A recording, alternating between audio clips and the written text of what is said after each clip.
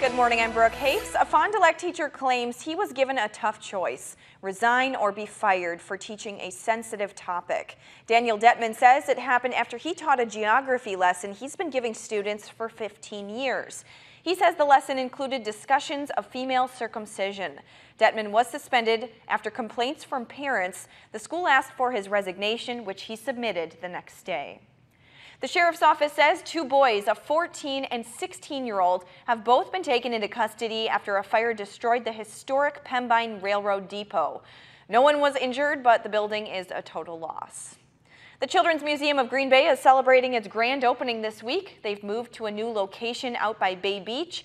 This week they have fun-themed activities all week long, including a Frozen-themed event today.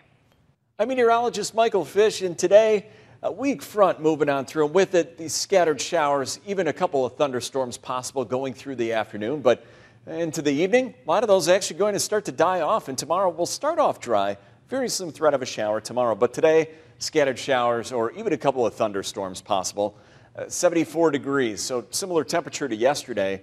Now, as far as tonight, though, any early shower ends, and for tomorrow, actually, most of the day dry, a little bit cooler in 70, but we could see a stray afternoon shower. Now, it looks like we have a couple of dry days, Thursday and Friday, but going into the weekend, that could start to get unsettled as we start to transition over to more summer like temperatures by Monday, looking at 80 degrees. Now, you can stay connected all day, every day at NBC26.com, or you can download the NBC26 app for free on the App Store.